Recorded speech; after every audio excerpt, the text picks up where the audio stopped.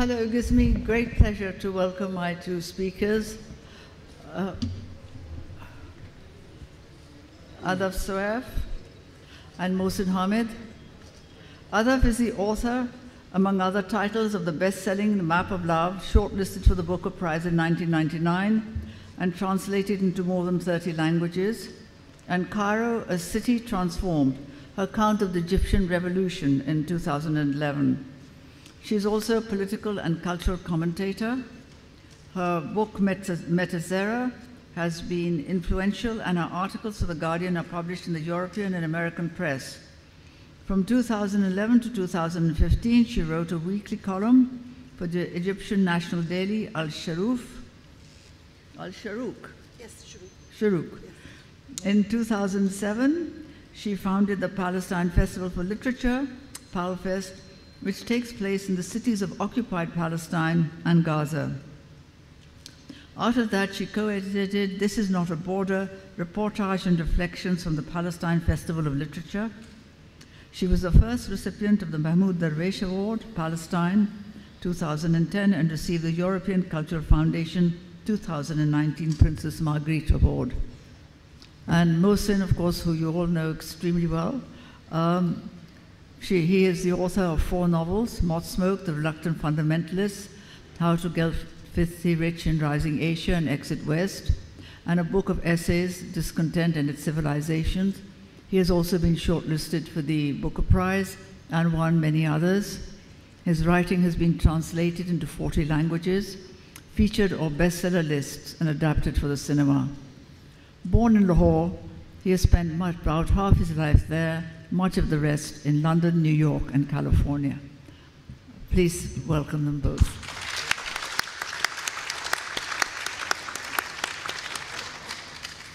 So the question I'm going to ask both of them is, what were your aspirations when you started writing? Ahdaf, I think you can begin.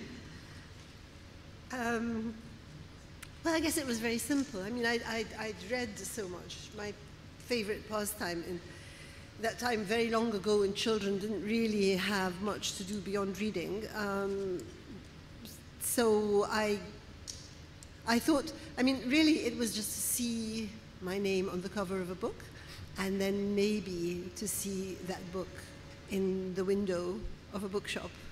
And so that was that was really where it stopped, actually. I, I, didn't envisage anything beyond that.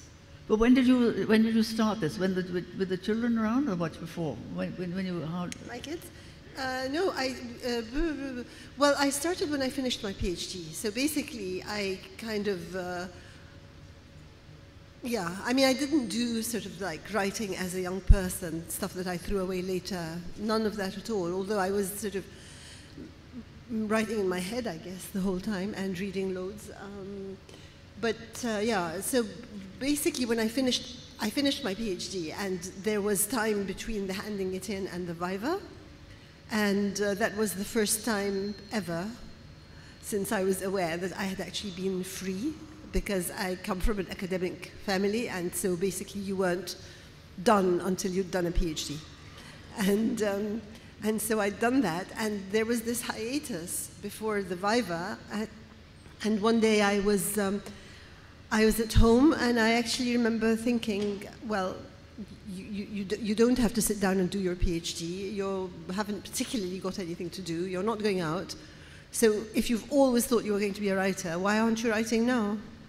And it was a, a good question. And so actually I sat down, started my first story, and that was the collection that came out as Aisha in 1983. yes. Yeah. yes.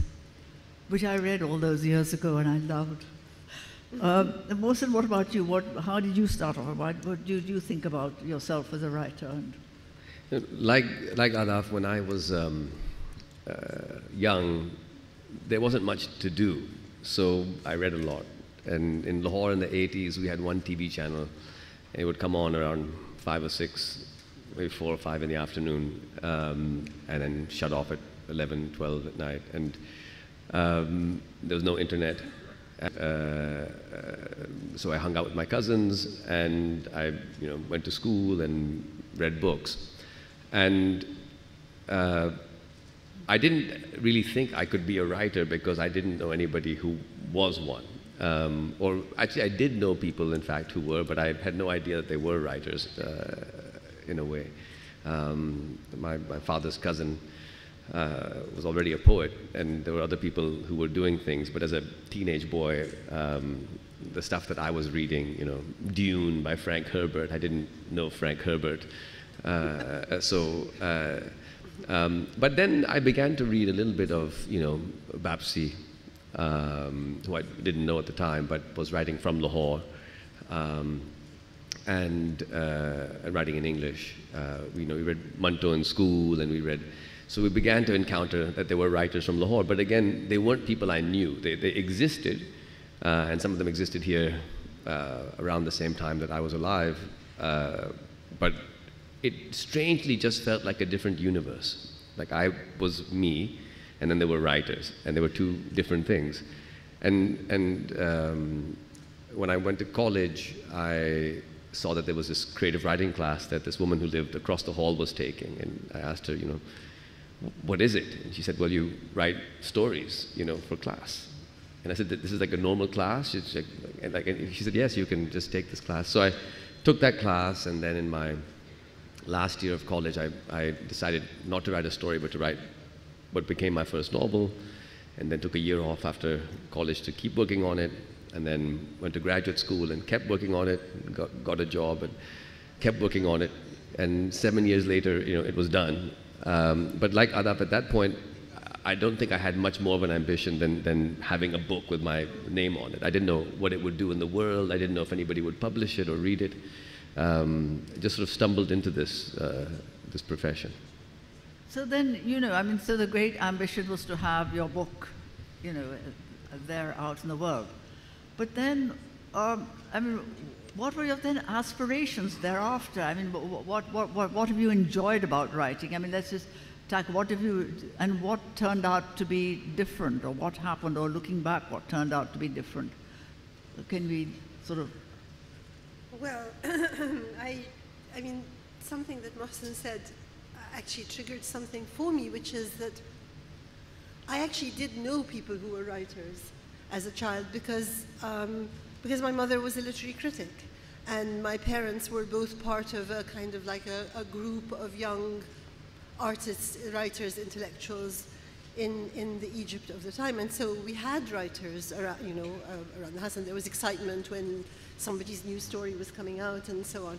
And so, and so it wasn't a world that was, that was different. And I, I think actually now it occurs to me that it, it actually seemed something that was possible to do, that you could sit down and you could write. Whereas what I would really, really have liked to do was be a rock star. Mm. But I had no means of, I mean, I couldn't see a way in which you could become a rock star. But I could sit down, and, you know, and write a book. So, um, yeah. Um, Sorry, your question was aspirations. I, I don't think I had any no, aspirations what, really beyond beyond being so published. What, what, what, what, what, were the joys of, then let's put it that way, what are the joys of being okay. a writer? Well, I, th- I think being a writer is most, a lot of the time is pretty miserable, I think, because you're never done. It's not like a nine to five. I mean, there is a brief moment when you've finished the work. Um, but otherwise, really, whatever you're doing, you know that you should be writing. And that is, that is not, not, not nice. And um, so, yeah, so there's sort of a, a, a guilt. Now, the thing is that, and I think that's part of the, I mean, like I still would have preferred to be a rock star because I think performance things, okay, of course, I'm sure you practice and so on, but but you do it and it's done. Whereas sitting um, on your own trying to write. However, however, when you do actually, when you are writing and, and, and it is coming together and you're suddenly you're discovering that, that at the end of a session you've actually written and thought something that you hadn't thought before, that actually it had generated a new, a new thought, a new idea, new images, and it had actually come together and was working on, on the page, then there is a, a pleasure um, So I, what I do is I print out and put it face down on the desk, and then in the morning I can go to my desk thinking, oh, you don't have to write. You can just read what was there and edit it. And if when you read it, it stands up and it doesn't feel like something you've written, you know, then that's a really, really good feeling. Yeah. And you, Mohsin, how do you, how, what was your... Well, as, as Ahdaf was speaking, you know, I, I, um, I began to wonder, uh, because I also wanted to be a rock star, and, uh, and I wonder if it's just that all writers are frustrated rock stars, um, or everybody wants to be a rock star. Um, uh, you know, I, I, think my kids wanted to be rock stars. Uh, one of them maybe still wants to be a rock star. And um, so I don't know if the universal human condition is the desire for being a rock star. Um, I, I, do remember once going to a festival where in, in Marrakesh, where there were, the, there were writers, including some you know, very well-known writers who I was you know, quite in awe of. Um, and there were movie stars, and there were, you know, but there was also a, a, a genuine rock star. Um, uh, so, so, so David Gilmour was there, you know, from, from Pink Floyd. Um, and you know, when you're in the presence of a rock star, uh, you, you realize that being a rock star actually is being a rock star. You know, everybody else was sort of in awe of this guy because, um, because you know, somebody else might have been a rock star of the cinema or a rock star of literary fiction. But that's not quite the same thing as actually being David Gilmour. Um, and, so, and so you realize, but but what is it about being a rock star that is attractive, right? It, it's, you know, it's partly that you get seen. It's partly, as Ahdaf said, that you get to perform. Um, it's, it's partly that you get to be adored. Um, you get to move people. Uh, uh, but I think there's this, there's this desire to somehow connect.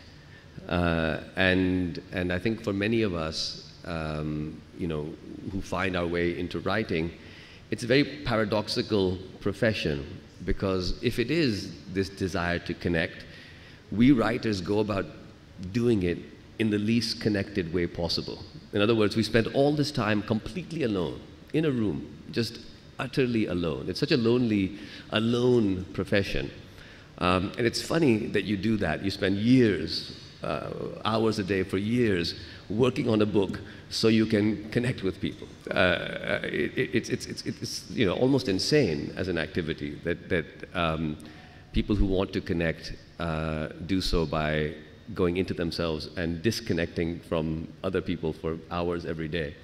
But, um, but maybe that is something to do with it, that there's, there's some of us who, um, whose desire to connect with other people um, only uh, only can be expressed or can only find its right expression um, in the opposite, you know, in, in being completely alone um, and, and uh, confronting the aloneness of yourself uh, for, I think, much longer than most people do. You know, for a big chunk of your life, a writer is alone.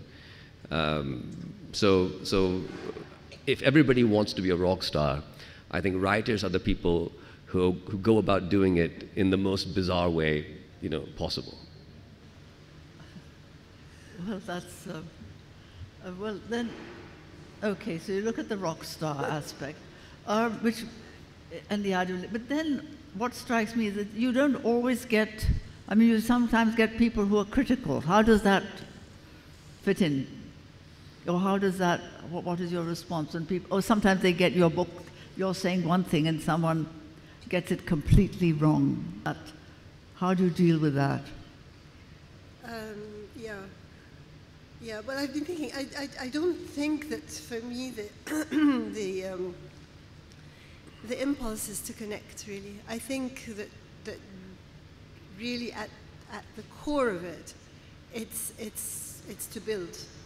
It's that it's as if everything, there are hundreds of little scattered bits and pieces everywhere.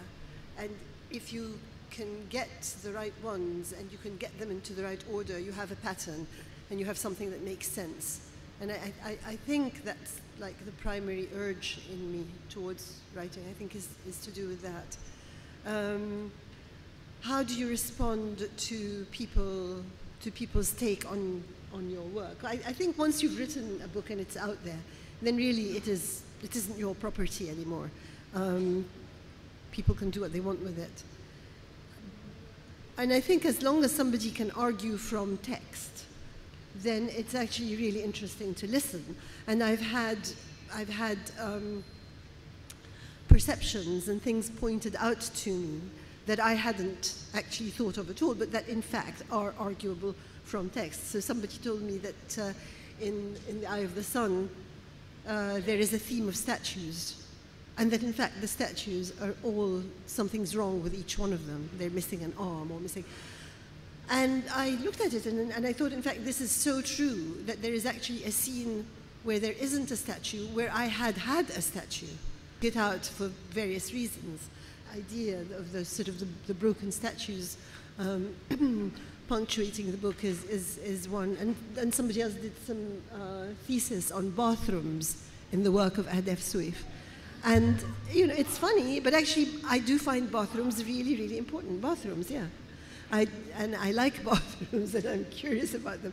But I wouldn't have thought that they featured in, in the work, but clearly they do.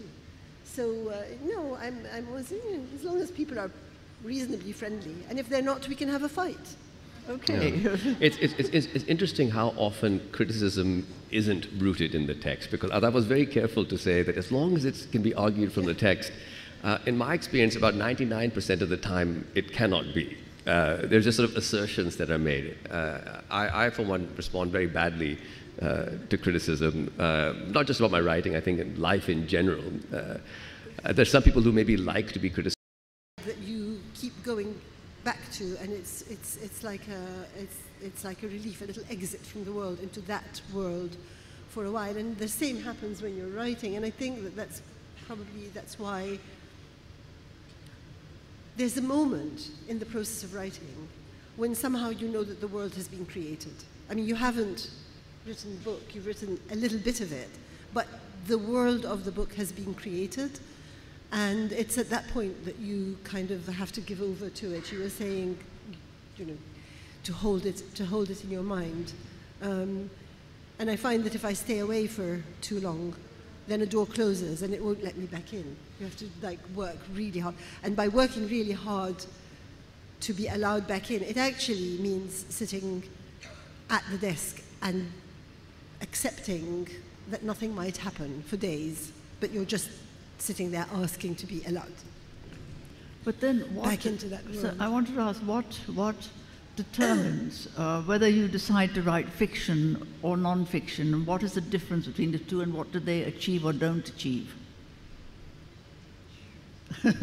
Sorry. Well, shall I, I, shall I simplify that? Ahdaf has done a lot of both, and so she'll she'll uh, uh, have a more thoughtful answer than me. But I mean, I've done I've done more fiction than non-fiction, but you know, quite a quite a bit of non-fiction. Um, and I've I've come to understand them as as um, as approaching uh, honesty in, in, in, different ways. Um, so uh, uh, fiction may be entirely invented. You know, the things that happen maybe didn't happen. You know, uh, possibly there wasn't a toad, you know, with a motorcycle who was uh, challenged by weasels and foxes. Um, but somehow there's an honesty to the telling of that story. Um, there's an honesty that you bring to the telling of that story, that you're, uh, uh, you're, you are telling the story in the way that you think it, it, it truthfully should be told um, which is something more about the stance towards the, the, the story, the, the words that you build the story of, the, your self awareness, um, uh, your interrogating the deceptions that you have towards yourself as you're writing the story, um, all of these things. Uh, nonfiction is different um, because if, if fiction is honest based on what it says and how it says what it says, to me, nonfiction very uh, often is um, honest or dishonest based on what it leaves out. So you can write a piece of nonfiction that is factually true, um, but can be completely dishonest. And I think that I think that in nonfiction, um, omission is much more important. You know, what part of the story are you not telling? So those of us who lived in Pakistan in the last 20 years, but particularly 10, the decade, the first decade of this century, you know, will remember all of this reporting about Pakistan, that this bomb went off and 12 people died and 28 were wounded and there was a terrorist uh, involved in doing this. And these things happened. Um, the nonfiction is true in the sense that these events occurred. Um, but almost never was it said that these things occurred in a city of 12 million people, um, you know, 11 million plus, 11.99 million of whom were really not part of these events, who were doing other things. Um, and in fact, that the, even counting this bomb, the homicide rate in Chicago was, less, was more than in Lahore, you know, that month. Um, and so what, you know, what we saw in Pakistan was the crafting of a story about this place um, that omitted so much of what was happening here and, and created an impression um, that you know, Pakistan is, is this sort of monster country um, which, which should frighten the world. And not just Pakistan, it's happened in many other places. It's happened in Egypt, Afghanistan, Iraq, all over. We see it happening even now, you know, with, uh, with Russia, for example. Um, leaving aside sort of the monstrous nature of, of Putin himself, but the idea that, that, that Russia is this horrible place um, that's always harmed others? Is it full of. And so I think um, uh, to this question of fiction versus nonfiction, in nonfiction, for me, it's become very important to ask, you know, what is not being said? Uh, and so, you know, you, you, look at the New York Times and its coverage, for example, of the Palestinian conflict. Um, you know, the fact checkers may get many of the facts correct, um, but of a thousand facts, if you pick three, uh, it's possible that 900 of the remaining 997 argue for a completely different interpretation of events. And so, and so, um, uh, and so I think that, you know, that, that nonfiction uh, lies in what it does not say, uh, almost more so. Uh, uh, than, and, and, and I think that um, nonfiction is therefore always invented. It's also always made up. And the part of it that's made up is the blank space, the stuff that doesn't get said in the nonfiction. So, so they're, they're cousins. They just operate in, in, in mirror image uh, ways. But, but I'd be very interested, to Ahdaf, how you, how you respond, because you've done so much of both. Well, I haven't. Um, I've not published fiction um, for 20 years now, which is a long time. Um, and I kind of uh, I, I hijacked myself into, into nonfiction um, on the back of the success of the Map of Love, which gave me a, a platform and room to uh, write nonfiction about the things I cared about. And it just was a, a, a confluence of circumstances that, uh, that Map of Love became well known at the end of, uh, of uh, 1920. Um, oh, God. Um, 2000, 1999, something like that. But it was also the outbreak of the Second Intifada in Palestine, and so the Guardian asked me to go and cover it or to go and write something from the ground. And, uh, and, and so I did that, and, and I felt very, um, very realized in that I was using the skills that I had as a novelist to, to write a very accurate uh, reportage from from Palestine and to, to bring the place and the people alive. And so there was, like, obviously, I was not inventing anything, but I was, I was making things come alive on the page.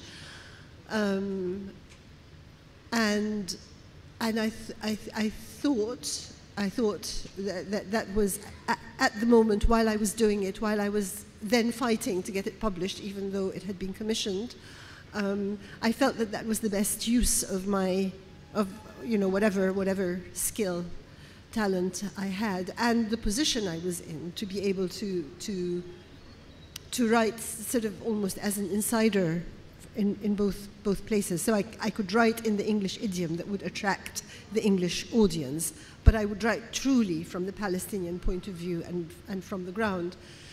And so it was very, very hard to let go of that, really, and to let go of that sense of that this is what I must do, this is what I am for. And so I carried on doing that. Um, and uh, Well, you wrote about your involvement in. in and the then I wrote about Egypt and about the Egyptian your- revolution. yes, and then there was about the another phase yes. in, in the revolution where I actually then had a column, a, a weekly column in Shuru, as, as you mentioned, which was the opposition, uh, well, the revolution sort of kind of um, daily.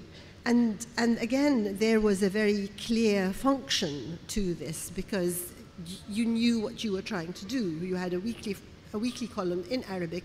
At a time of revolution, you were trying to, to keep things going, you were trying to document. Eventually, when people started getting disappeared and started being put in prison, you were writing about them and for them, and you would get feedback that you were being read in the prisons and that you were giving people heart and so on. And, and so I, you carried on doing that until, until you were banned, because then, then it became impossible. And really, I guess, I, I mean, I don't have, like, I mean, I think that in both, as you say, in both fiction and nonfiction, we are reaching for some kind of, for some kind of truth. Um, probably in the fiction, you're reaching for a, a, a more, I don't know, a more developed or a, a more a wider scope of truth uh, somehow. But certainly, and we were talking before we came in, that I'm at a point where um, I, am banned from writing in Egypt, and, um, and I have really no interest in writing about the Arab Spring for the West in English anymore. And so nonfiction is gone. And I then reminded myself that actually that even during a protest, even with the gas going, even in Palestine under occupation, people, particularly young people, would ask me, when is the next novel? And so, you know, um, I decided that maybe, maybe the, the, the more difficult engagement now, an engagement that might actually yield a richer result, would be to, to, to go back to fiction and to try and work work with all the things that I would have worked with in nonfiction, to, to work them in fiction and see what that would, what that would look like. It's looking very, very difficult now. It, it, it's so interesting because, you know, uh, as you said, that there was a, a long period of, of not writing fiction for you. Um, there's been a, a much shorter, but still a couple of years period of not writing nonfiction for me.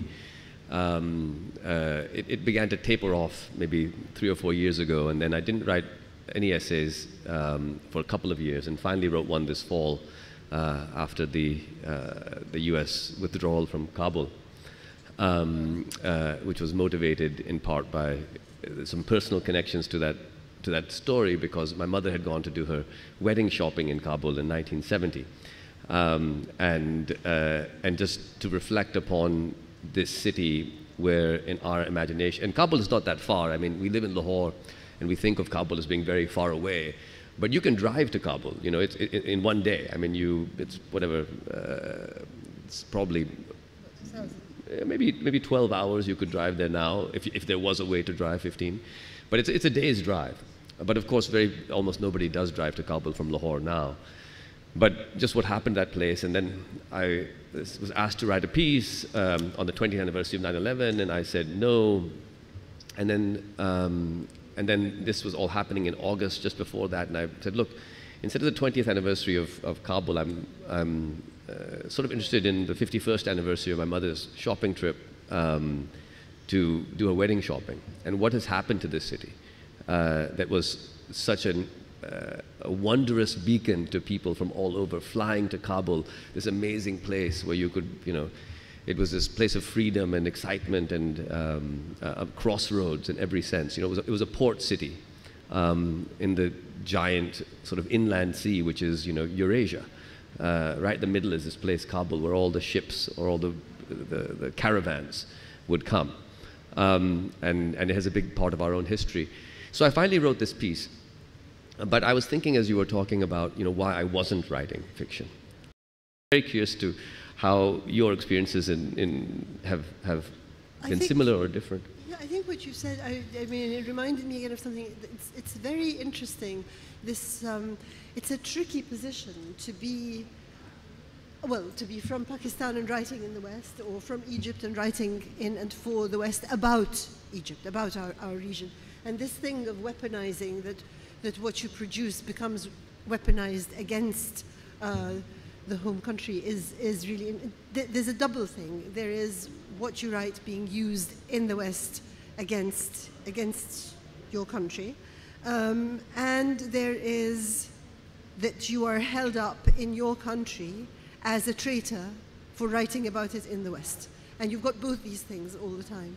And what I used to do was, um, was every time I wrote a piece for the British or American press, I would translate it into Arabic and it would appear in The Guardian today and appear in Al Hayat or Ashuru or something tomorrow.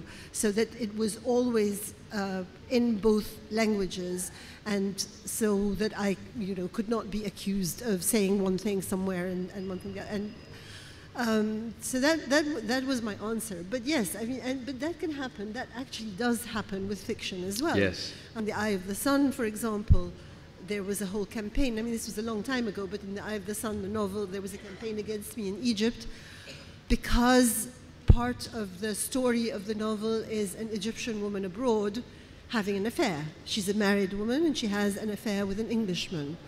And so somebody set up a campaign where I was uh, slandering and defaming Arab women. And um, it was no use pointing out that that was a theme that was present in Arabic literature and so on. No, the issue was it was being written about in the West, in English. So you were kind of like hanging out our, our dirty washing in public kind of thing. And it, it really ran, um, and it was only stopped because lots of big, big writers uh, stepped up to, to, to my defense, and that was fine. But again, because of that, I found myself when turning up to readings in Britain, for example, I would find a poster saying, hated and reviled in her home country. Well, I wasn't hated and reviled, and, and I didn't want that publicity anyway. I wanted to be able to keep moving between places and have access to both places. Um, and made sure I did. But it is, it is, it is a very, very tricky. It, tricky. It, and as you say, it also does come over into the fiction because um, yeah. uh, it's not that in, in not, in, not, not that in fiction we live in some place where you can say anything you want, right? Uh, fiction itself has enormous limitations in terms of what can be said and how it can be said and how people interpret it. You talked about, you know, when you're critiqued from the text. Mm. But you are so often critiqued not from the text. You know, for example, this idea that, um, that it's, a, it's a slander of, of, of Arab uh, women uh, to an affair is not really a critique from the text, right? It's, it's an idea of the text and then a critique of that idea of the text. And so much of talk about fiction is, does occur in, in that way. But, um, but when it comes back to fiction, it's interesting because in fiction we have so much room to, to, to find um, space to do what we want. It might take some time. It might take 20 years sometimes. Uh, my books tend to take between five and seven each, so it, you, you know, it looks like I'm not writing anything for, for many years at a time. Um, but for example, my, my next novel, which comes out in August, uh, is, called, is called The Last White Man. Yes, and it's, it's, it's the story of a, a man who wakes up and he, he's dark, but when he went to bed, he wasn't. Um, and, um, and this tragedy is sort of it's called The Last White Man. And a, a story of a man who wakes up. He's dark. Oh, right. But when he went to bed, he wasn't. Right. Okay. And, um, and this sort of tragedy in his viewing of it has, has befallen him. Um, and as the novel progresses, this predicament progresses. And more and more people um, begin to be dark and are grappling with this, you know, with the horror of, uh, uh, and in some cases, liberation, depending on the character, of what this means. But, but um, I don't want to talk too much about that novel. I want to talk a little bit about why I wrote a book like that. It's a book with no Pakistani characters or um, uh, no characters who are identified as such. Um, who knows what they are? Um, it's a book that doesn't occur in a place that is identifiably Pakistan. Um, it, it's a book uh, that actually occurs um, in the places where the books that I write in English um, tend to be published in the biggest numbers, you know, places like America or, or, or the UK. Um, and in a sense, it was, it was decades of dealing with this idea, the accusation in, of, of reporting one's dirty laundry to the outside. Um, uh, it felt interesting to me the notion of reporting um, dirty laundry from the inside uh, and venturing into a place where I don't obviously have permission to write. You know, um, I'm not white. Uh, I don't live in America. Um, I haven't changed color. You know, uh, I can't claim any of these things as giving me permission to write this story. But, uh, but yet I feel very, very strongly attached to it. And I think, I think that it's in some senses a response to what Ahdaf was talking about. The discomfort that accrues over the years and decades of writing, a perception that one is sort of struggling against, of, of doing something wrong, of, of, of betraying one's tribe, um, and, uh, and being, being valorized for the act of betrayal um, which I think is a false accusation, but it's nonetheless a constantly leveled accusation. It's the ecosystem and culture and water that we swim in, you know, as, as, as brown fish uh, in, this, in this publishing sea. Um, and so for me, it was very important in fiction to try to take that sort of head on and to try to do a different kind of book, um, something that, that, in a sense, uh, um, was precisely the same as all of my other books, um, and yet uh, completely impervious to this particular critique. Uh, uh, uh, you know, unless the critique is, of course, that you really are white and you really are American and you're now betraying your American white roots to a Pakistani audience uh, uh, for cash and, and, and, and success. But, but I think, I mean, that's why I was, I was very interested to hear about your coming back to fiction. The thing about fiction is that in, in fiction we have permission not just to tell these stories, um, but to build our own imaginary internal kind of interpretive frame inside which we are telling our story. You know, it's not The Guardian, it's not the New York Times, it's not Dawn. It's, it's you, what you imagine the space to be, and then into that you put your fiction. And so, um, and so yes, so in some senses, the not writing of nonfiction has deeply changed my fiction, at least as far as the next book is, is concerned.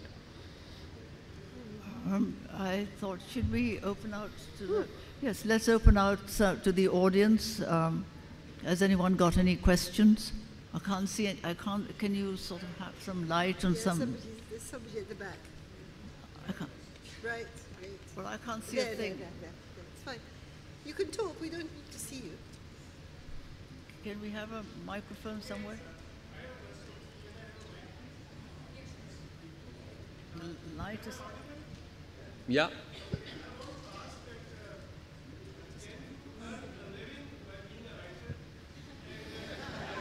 Can you earn a living, folks? Okay. Uh, can you earn a living by being a writer? And for that to happen, does your writing have to be in English language?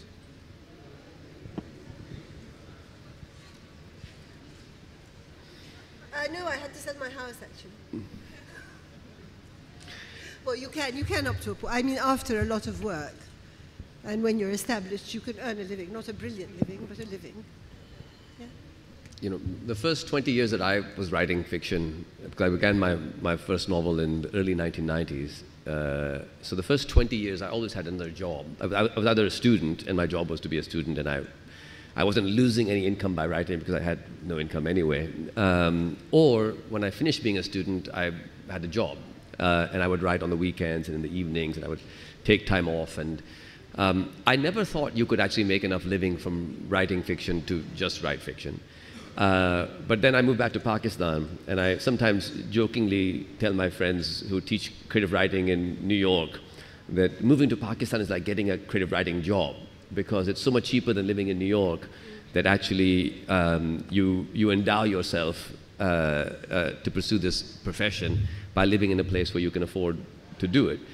But um, I think I think Ahdaf's point is right, which is that which is that um, it's it's it's very difficult to make a living as a writer uh, for a very long time. It's really kind of blind luck if you're able to do it after that. Um, there are a hundred more talented writers who are unable to make a living writing fiction for each one of us who manages to do it um, uh, and, and make a living at it. And you also asked about English. And I think you're right. I think that actually, if you don't write in English, um, it is even more difficult. I mean, it depends on the language. If you write in Japanese or German, you know, maybe those are countries where you, you, you probably could, you know, I don't know, French or Spanish perhaps. Um, uh, at the level of Arabic, you still have many, many more readers uh, than, than you might in Urdu or, or, or certainly Punjabi. But but I do think if you don't write in English, the ability to just make a living from writing is, is already much harder than it is uh, uh, when you start off in English. But for anybody who's starting out, um, I think I wouldn't approach it as something that you do to make a living. Uh, I, I, think that that's a, that, that is, a, is a, a mistake. And I think if I had approached it that way, I would never have been able to, uh, to be a writer now. I, I always approach it as something that, that I would never be able to make a living at um, and I was going to do something else to make a living. Um, and you know, there are famous writers who are dentists, and there are famous writers who are, you know, who, are professors and journalists, and um, and there's a reason for that, you know. Uh, and it and it seems like it's always been the case. You know, Tolstoy had his estates. Um, and uh, you know, uh, and even even Virginia Woolf had her room, uh, uh, which you know she had the background that allowed her to do it. But um, but I guess the last thing I'd say is, is don't, don't do it thinking you're going to make a living at it, but, um, but certainly do it if you think the life you can make doing it will be better than the life you can do without it, which isn't a, a sort of an economic argument. It's just what will your life feel like if you don't do it? Um, but yeah, that would be my, my sense. I agree. I agree completely. I had a job. Um, I mean, obviously, first I was a student, and then I had I had a job, and I had jobs all the way through until until I actually went back to Egypt uh, for for the revolution. And so it's more or less the same trajectory because again, living in Egypt is a lot cheaper than living in London, and so it's possible to to exist. But I again, I never went into it to make a living. And in fact, I think it's quite good to have the writing activity separate from the business of earning a living and how much money you're going to make because they it, it sets you free. I mean, you're not, you're not, there isn't something at the back of your mind wondering if you should perhaps be doing something differently in order to, to make money, you know?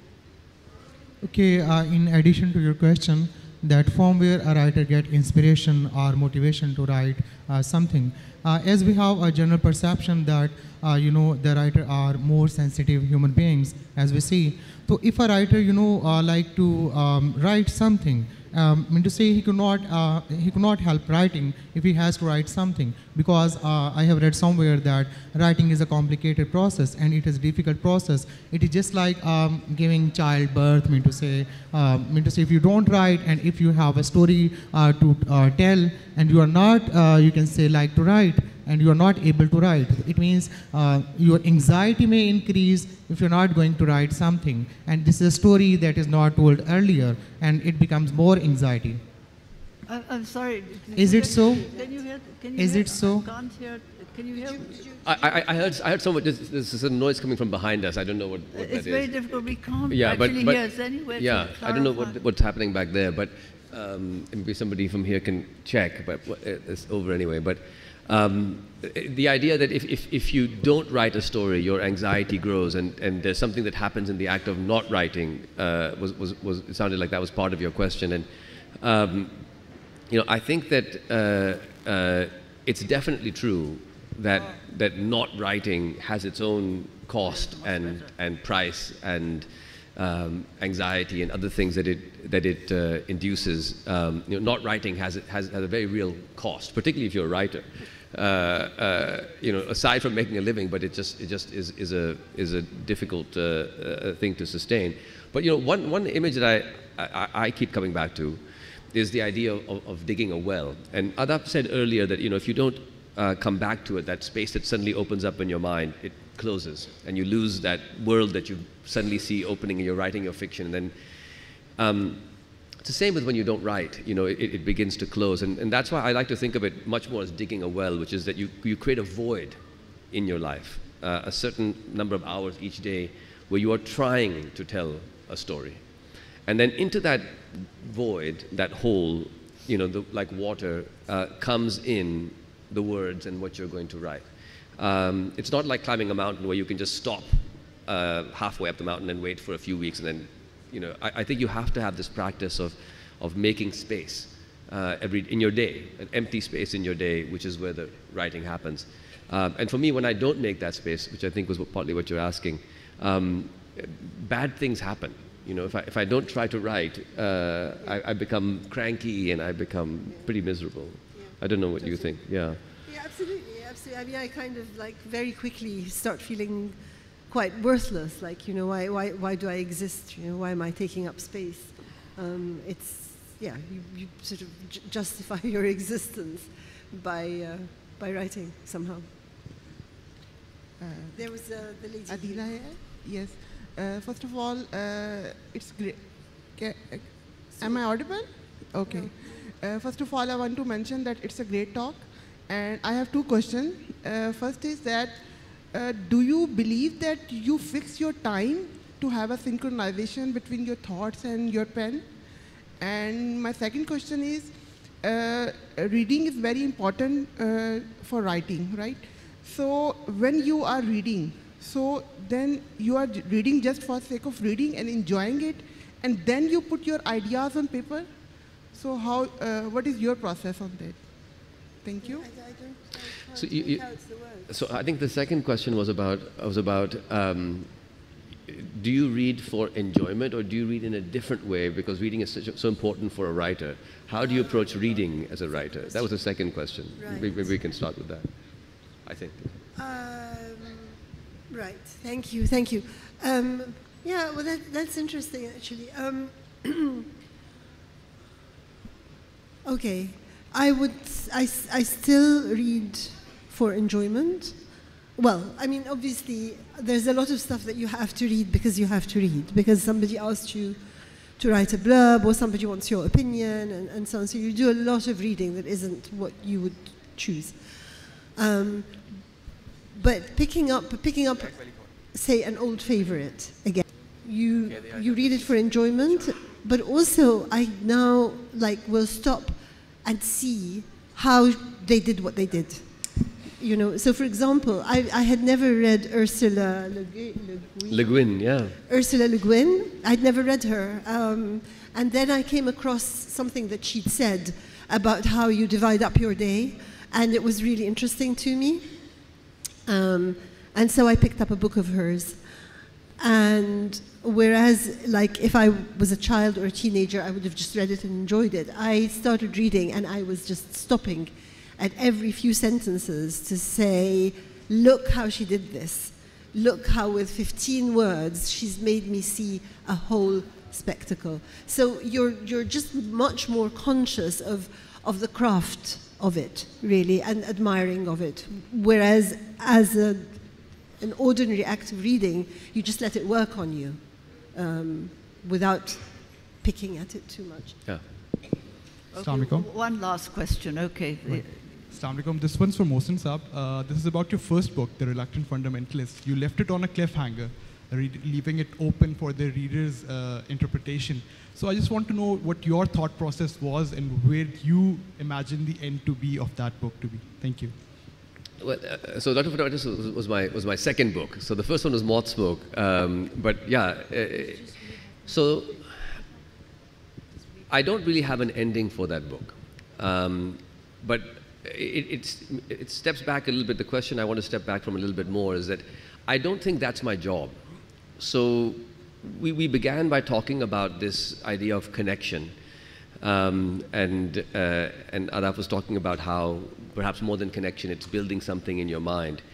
Um, Uh, and I think I, I, I, agree with both of those ideas that I think for me, writing is about connection and it is also about building something in your mind. Um, and for me, the connection in a way is that I imagine that my books are a chance for readers to also build something. Um, and so I'm not only building something by myself, I'm building something that then somebody else will build something from. Uh, and uh, so it's not like um, when the book is done, it doesn't actually exist. Uh, uh, it's, it's just these words. And then when somebody reads it, the book exists. But when it is read, it's no longer just those words. It's people and its emotions and its images, and it's been transformed by that reader into something. So I very much um, uh, approach my writing, my writing as writing half novels that other people, the reader, you know, writes in their imagination. And so that novel, The Reluctant Fundamentalist, was a novel that very much was about how do we see each other, or more importantly, how do you, reader, see a situation? And so it was not meant for me to say this is the correct answer at the end of the book. It was meant to be a kind of mirror where at the end the reader's left with what were they feeling at the end? They made that feeling. And if they made that feeling, what does it tell them about themselves? Uh, so, so I don't have an ending in mind. But I'd, I'd actually love to get, uh, I know it's our last question, but just a quick Ahdaf's response to this idea as well about, about how do you imagine the reader as, as a maker of your, of your books? To what extent do you think of them in that way? Uh, oh, absolutely. Yeah, I mean, basically, I think that the act of uh, the act of reading is not a passive act. The reader engages with with with the book, and I thought that was a beautiful image that you uh, you put pieces together to construct something, to build something, to give to the reader, to build something with. Uh, so we're all sort of it's a, a, a, chain a chain of building actually. Um, so yeah, I agree, and I, I, I, I think I think it's beautiful that you're laying it out there, and the reader will within their own their own system, their own galaxy, as it were, um, and, and, and, and make something with it. Yeah, totally. Well, I, I think... And that's why I think, that's why I think when people, when people say, oh, this is too difficult, or oh, you know, explain this, I'm, I'm just very, very conscious that the reader is smart and that the reader is working alongside me. And that if the reader is engaged, then if a clue has been thrown out or something has been explained in page 15, then it's alienating to explain it again or give another clue to it on page 30 because you're breaking that, that idea of, you know, we're working together on this and, and, and we're keeping pace with each other. So, yeah. Thank you very much. I think our time is up. Thank you, Mohsin. Lovely. I'm, so glad. I'm glad you're writing it.